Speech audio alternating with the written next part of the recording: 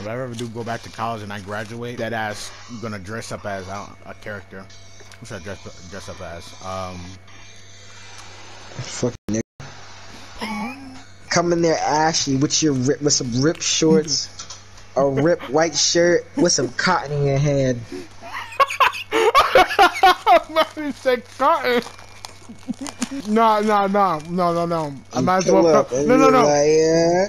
No. I might as well come in with nothing but nothing but underwear, doodle stain in the back. Okay. What? Dirty as hell and cotton in my hand. Yeah. hmm That's That, that's a true nigga right there. Yeah. Uh huh.